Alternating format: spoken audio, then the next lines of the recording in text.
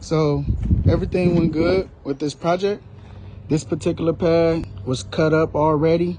I tried to receive lift there and there, but um, I guess they was um, cutting caulk out, but they cut too deep into the pad. So this would have been one of the free pads that I would have done for the customer, which dropped the free pads from six to five pads. But everything came out good. The lift that I received going up this way too as well. It's not in the dirt anymore from the original video. We continue to go this way. Same thing. Everything is lifted, leveled, stabilized.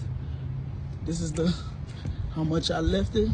This, all this whole going around the pool area was in.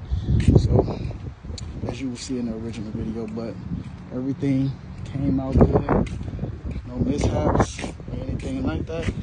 Um, if customer has any questions or concerns, excuse me, if customer has any questions or concerns about anything, um, a stop project because uh, they want to cause any damage to this pool area, then it'd be on Mr. Level. So, or it just be a misunderstanding between the customer and the company. So, um, I did it to the best as I could. Everything, like I said, went well. No mishaps or anything like that. Um, I talked to a representative that Brian sent out yesterday about this particular area that I did try to pump into, but he said that they will be cutting that out anyway to clean out in there, so don't worry about it. But other than that, everything went good. Thank you for choosing Mr. Lake.